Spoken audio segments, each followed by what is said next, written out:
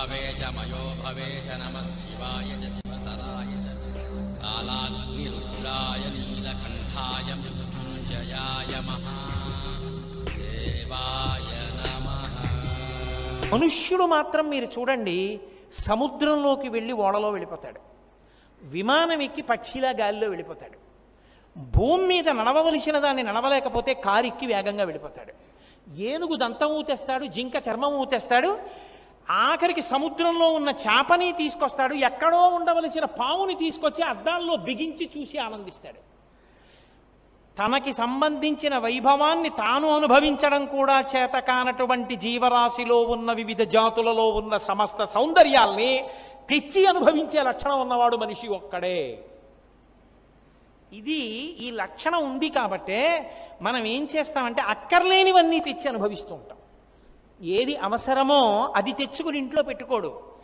ఏది తరింప చేస్తుందో అది తెచ్చుకోడు. ఏది అక్కర్లేదో అది మాత్రం తెచ్చుకుని భోగస్థానం కింద వాడుకోవడం మొదలు పెడతాడు.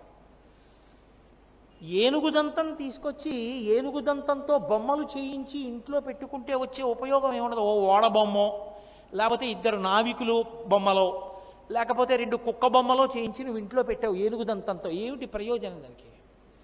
ఏనుగు దంతంతో పరమేశ్వరుడు యొక్క మూర్తిని చెక్కించావు. ఆ తెల్లతనం దానిలో నిబిడీకృతమై ఉంది కాబట్టి ఇప్పుడు నువ్వు దాన్ని సద్వినియోగం చేశావు అనడానికి అర్హత ఉంటుంది.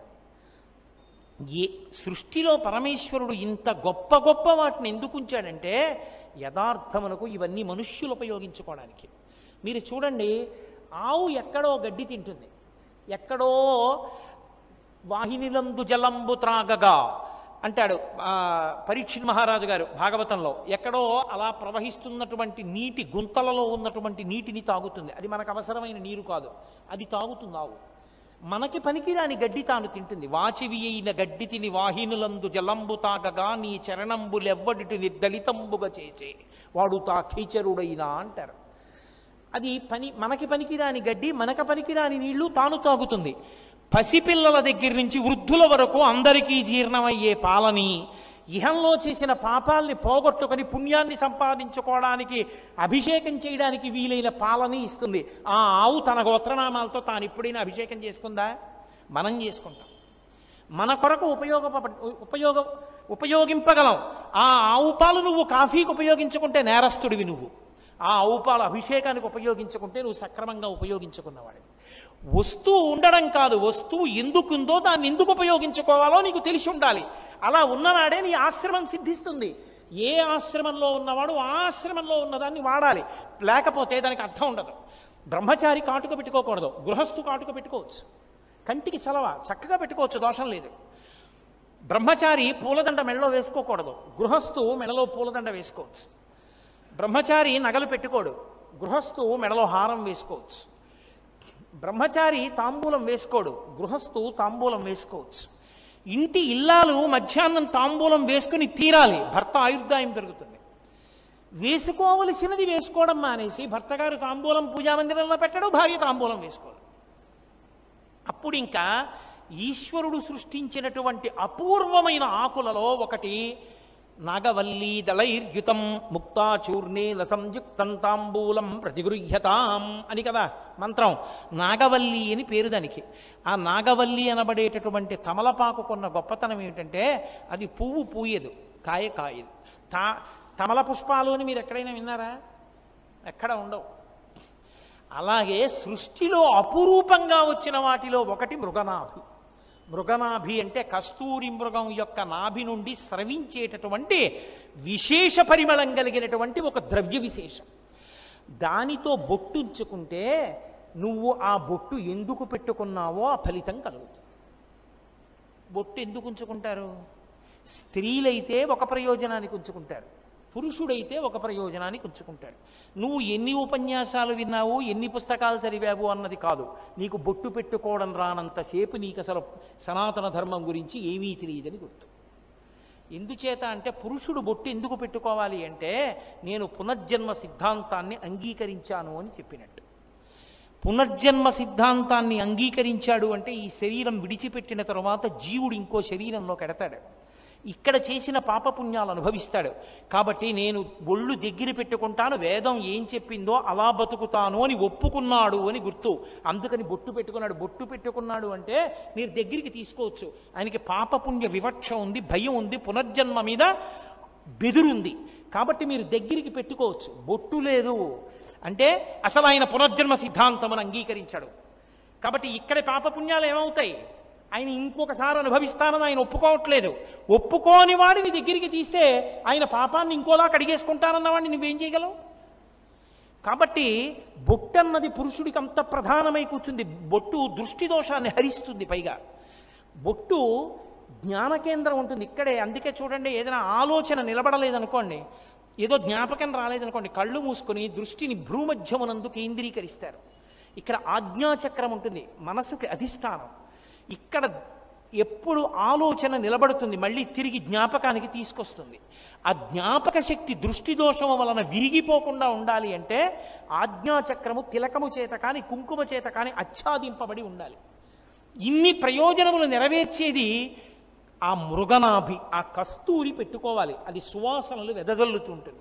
స్త్రీ ఆడవారు ఎందుకు పెట్టుకుంటారంటే సభర్తృక భర్త జీవించి ఉన్నాడు అని గుర్తు. సువాసిని సువాసిని ఎక్కడుందో అక్కడ కామాక్షి ఉన్నట్టు.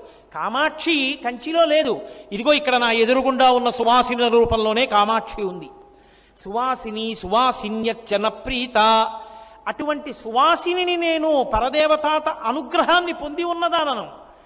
అని చెప్పడానికి కస్తూరి తిలకాన్ని పెట్టుకుంటారు. అమ్మవారు కస్తూరి తిలకం పెట్టుకుంటుంది.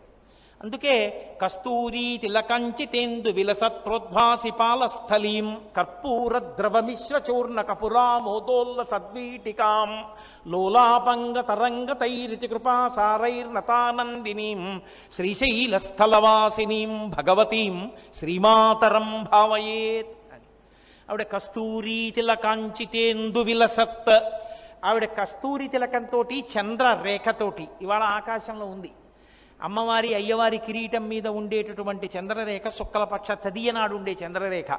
ఇప్పుడే నేను మీ పట్టణానికి కారులో వస్తూ ఆకాశంలో ఆ చంద్రరేఖను చూసి ఒక్కసారి కామాక్షి కిరీటం మీద చంద్రమౌళీశ్వరుడి కిరీటం మీద ఉండేటటువంటి ఆ చంద్రరేఖని భావించి లోపల నమస్కారం చేసుకొని వచ్చాను. కాబట్టి ఆ చంద్రరేఖని ఇవాళ దర్శనం చేయొచ్చు. కాబట్టి ఆ తల్లి విలసత్పూర్ణి ఆ పక్కన కిరీటం పక్కన చంద్రరేఖ ఉంటుంది. నుదుటి మీద కస్తూరి తిలక ఉంటుంది. ఈ కస్తూరి తిలకం శోభ.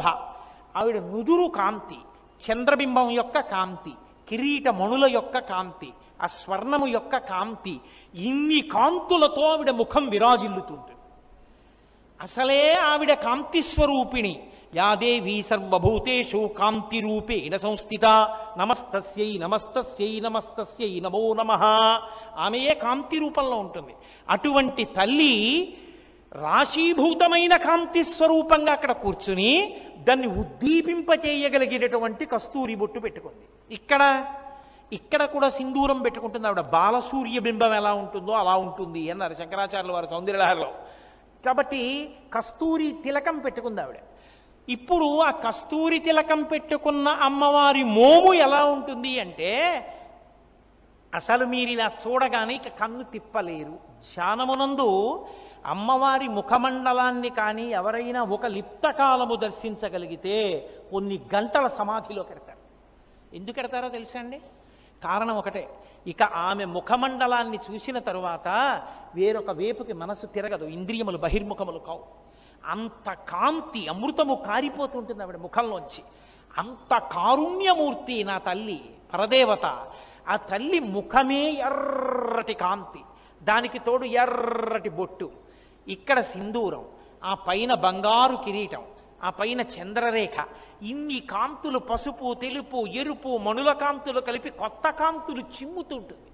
దానికి తోడు కాంతికి వాసన కాంతికి రుచబ్బితే కాంతికి వాసనబ్బితే వాసనలు కూడా విరజిమ్ముతుంటుంది ఆవిడ. ఎందుకని ఆ కస్తూరి మృగమదమునకున్న లక్షణం ఏంటంటే అది సువాసనలు వెదజల్లుతుంది. అటువంటి తిలకం పెట్టుకున్న అమ్మవారి ముఖమండలం చూడగానే కళ్ళకి కలిగిన ఉపవాసం తీరిపోతుంది. ఆ సువాసనల చేత ముక్కునకు కలిగినటువంటి ఉపవాసం తీరిపోతుంది. ఇంద్రియములన్నీ వెనక్కొచ్చి ఆవిడ ముఖము నుండి స్రవించేటటువంటి ఆ కరుణారస ధారలను గ్రోలిన గ్రోలడం చేత కడుపు నిండిపోతుంది.